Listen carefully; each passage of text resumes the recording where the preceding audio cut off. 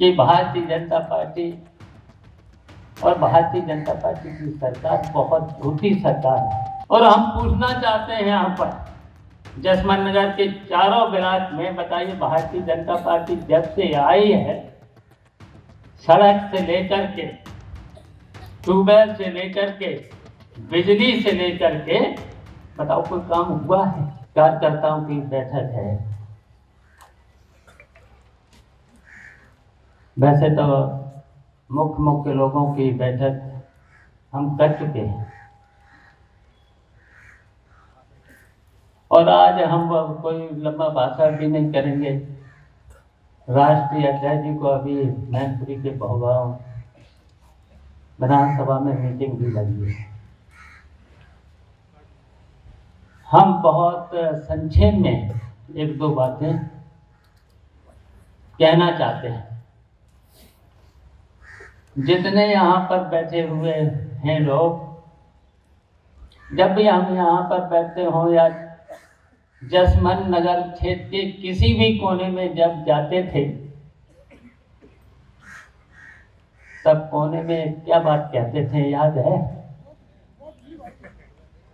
यही कहते थे कि एक हो जाओ, तभी भारतीय जनता पार्टी का मुकाबला कर सकते हैं।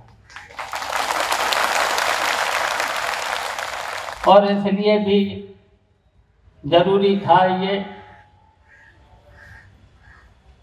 कि भारतीय जनता पार्टी और भारतीय जनता पार्टी की सरकार बहुत झूठी सरकार है। हम जानना चाहते हैं, इन दस सालों में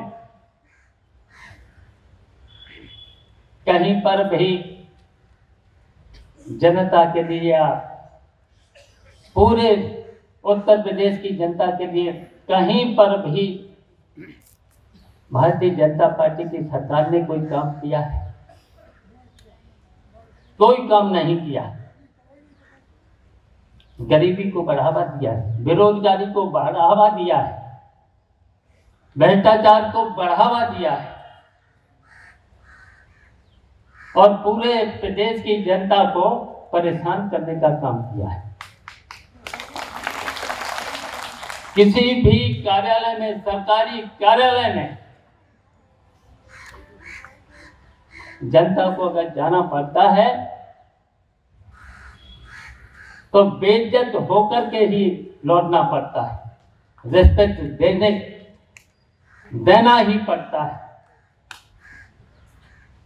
सरकार का कोई नौकरशाही पर कोई पकड़ नहीं है। नौकरशाही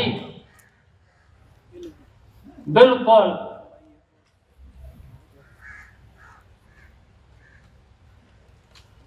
नौकरशाही बिल्कुल नहीं है सरकार। और यहाँ तक कि यहाँ के मंत्रियों से लेकर के अगर उन्होंने सिफारिश कर दी एमएलए ने भारतीय जनता पार्टी के लोगों ने अगर सिफारिश कर दी तो फिर देश में और बढ़ जाता है। क्योंकि उनका बंटवारा बंटवारा बढ़ उनको भी देना पड़ता है। हेलो? तो ये बेईमान सरकार है। हेलो? इसलिए तो ये काम हो रहे हैं।